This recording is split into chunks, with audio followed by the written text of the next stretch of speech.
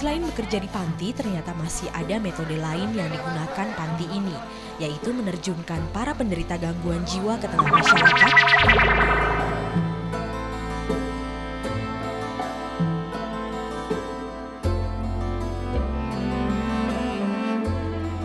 Sepintas tak ada yang aneh dengan orang-orang yang sedang bekerja ini.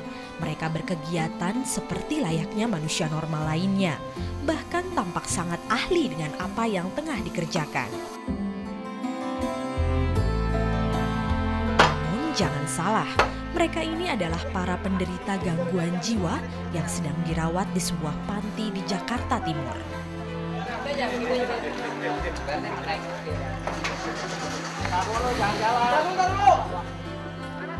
Kegiatan ini adalah terapi untuk menyembuhkan penyakit mereka. Selain bekerja di panti, ternyata masih ada metode lain yang digunakan panti ini, yaitu menerjunkan para penderita gangguan jiwa ke tengah masyarakat untuk bekerja dan berbaur dengan warga. Jadi tujuan untuk kita terjunkan ke masyarakat ini supaya eh, dia bisa diterima ke masyarakat. Nah, kebetulan juga kita punya program, program namanya program kemandirian. Jadi sebelum kembali ke keluarganya atau masyarakat, saya akan eh, mensosialisasikan dengan masyarakat.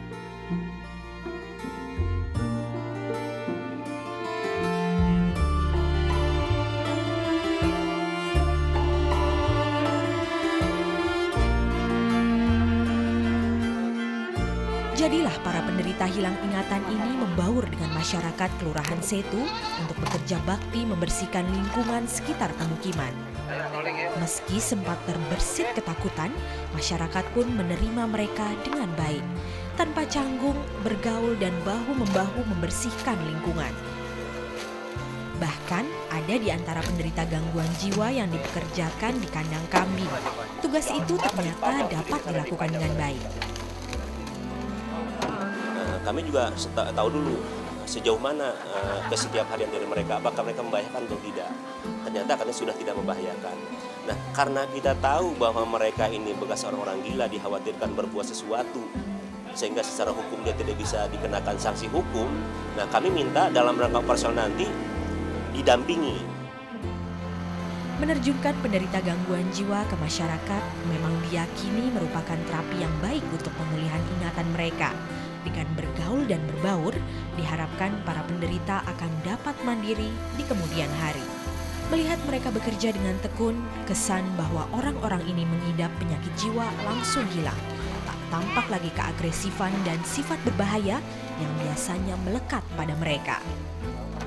Nah, buat hidup e, mereka selanjutnya, saya harapkan nanti masyarakat bisa menerimanya dengan membantu masyarakat di masalah sampah, masyarakat bisa memberikan suatu tempat untuk mengelola sampah di lingkungannya. Karena kenapa? Mereka ini kan sudah istilahnya keluarganya tidak tidak mengakui lagi. Kita mau kembalikan kepada keluarga itu ada kendala. E, takutnya keluarganya itu ngamuk-ngamuk lagi. Tapi ternyata setelah di masyarakat, alhamdulillah. Umumnya orang-orang ini memang diambil dari jalanan Kebanyakan keluarga mereka sudah tidak mau lagi mengakui keberadaan orang-orang Malang ini. Kadang keluarga sudah menganggap mereka mati. Dengan perlakuan yang benar dan manusiawi, orang ini sama sekali tidak berbahaya. Bahkan mereka bisa menjadi pekerja yang tekun dan tak kenal lelah.